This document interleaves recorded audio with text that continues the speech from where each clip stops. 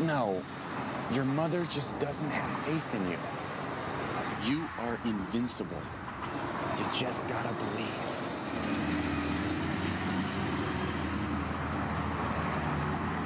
Much, much, much later. Bang!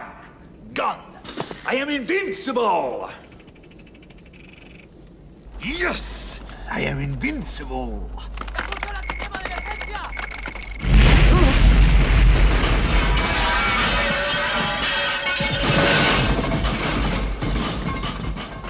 Yes! I am invincible!